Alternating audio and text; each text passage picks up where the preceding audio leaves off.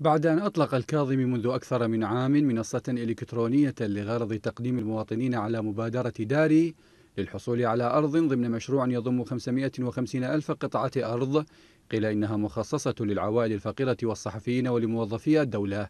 تبين اليوم أن المشروع ما زال مجرد حبر على ورق.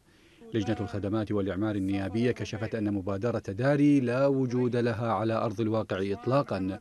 حيث لم تفرز الحكومة أي أراض للمبادرة التي أطلقتها رغم مرور عام على الإعلان عنها.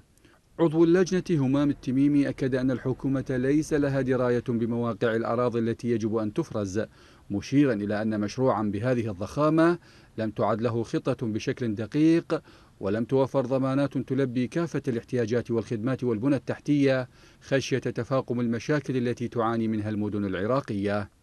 ثلاثة ملايين ونصف المليون هم عدد المقدمين على مبادرة داري وفقا لحيدر فاضل الميالي مدير عام دائرة الإسكان في وزارة الإعمار والإسكان الذي رمى الكرة بملعب الوزارات.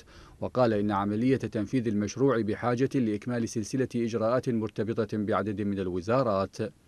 ومع استمرار المماطلة في التنفيذ يبقى مئات آلاف الفقراء وذوي الدخل المحدود يعقدون آمالا على أي مشروع سكني ينقذهم من حالة البؤس التي يعيشونها بما فيهم أولئك الذين يقطنون في عشوائيات تفتقر لأبسط مقومات الحياة.